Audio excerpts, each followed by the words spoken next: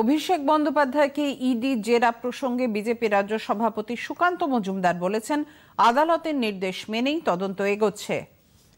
আদালত বারবার বলেছে যে অভিষেক বন্দ্যোপাধ্যায়ের বিরুদ্ধে তদন্ত হওয়া উচিত এবং সেই তদন্ত হয়ে তার উপযুক্ত ব্যবস্থা হওয়া উচিত। আমরাও তো সেটা বলছি। কারণ এই তদন্তগুলো পুরোটাই আদালতের দেখরেখে হচ্ছে, আদালত গাইড করছে ইডি সিবিআইকে যে কীভাবে তদন্ত করতে হবে।